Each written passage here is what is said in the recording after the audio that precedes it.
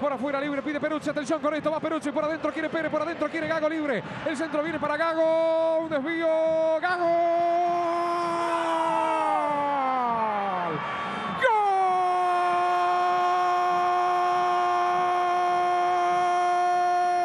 De Boca, Fernando Gago. Primero de derecha, después de zurda, pero déjenme contarles.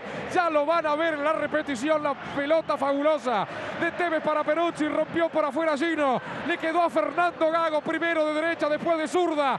Nada que hacer, un leve desvío en el camino para el arquero Lave gana Boca. Y es más puntero que nunca en la Argentina. A los 37 del primer tiempo, Boca gana Boca Juniors 1. Belgrano de Córdoba 0, Fernando Gago.